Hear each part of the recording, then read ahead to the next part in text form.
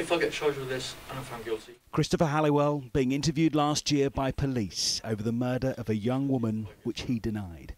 Remarkably, he appears to offer them a deal to solve the case. I can resolve the matter, but I don't want you coming back every couple of years. If it goes to court and I'm found guilty, that's it. They lock me up and throw me away the key.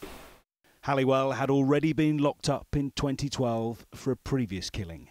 Now he is a convicted double murderer. We have waited over five years for this momentous day. It has been an extremely painful journey, but today we've received the justice that has felt like an eternity coming for our beautiful little girl, Becky.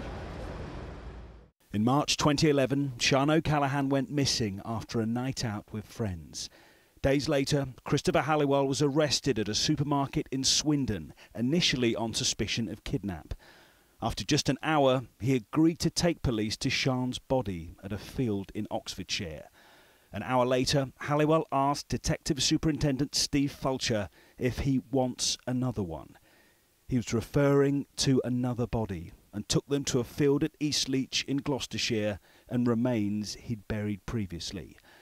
Police named the woman as Becky Godden, who had been missing for eight years. The next year, Halliwell admitted murdering Sian O'Callaghan and was sentenced to at least 25 years in prison.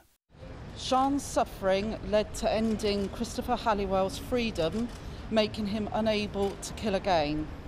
The complexities surrounding the cases will continue, but there will never be closure as long as Sian is no longer here.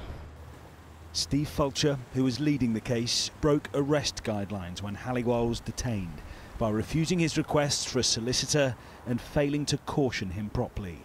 He has since left Wiltshire Police. Today, in a statement, he said, I caught a serial killer, preventing any further girls being murdered. My actions are deemed by the police service to be acts of gross misconduct. When the extraordinary facts of this case are explained, it is likely to lead to a public crisis of confidence in the competence and credibility of the police service. Christopher Halliwell today laughed and smiled when the jury returned their verdict. The killer, who lived with such dark secrets for such a long time, faces the possibility of a whole life term in prison.